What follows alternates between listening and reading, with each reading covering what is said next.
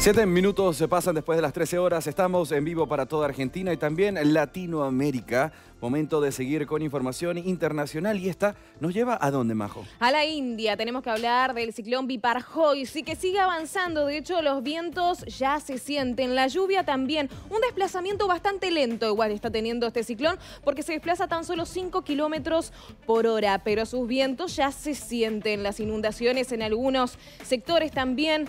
Bueno, la marea ciclónica, como se le dice también, que viene empujando ¿no? el agua, haciendo olas también impresionantes. Bueno, los vientos tormentosos, las fuertes lluvias continúan en el estado de Gujarat, en la India, bajo la influencia de este ciclón Biparjoy.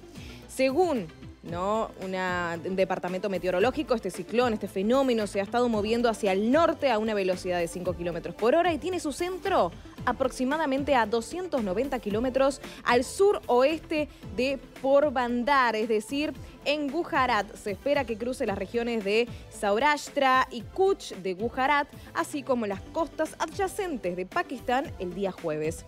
Ningún ciclón del mar Arábigo desde 1982, cuando se comenzaron a utilizar datos satelitales, se ha mantenido con esta fuerza durante tanto tiempo como Biparjoy y promete batir más récords. De hecho, se espera que cruce las costas de Gujarat y Pakistán el 15 de junio.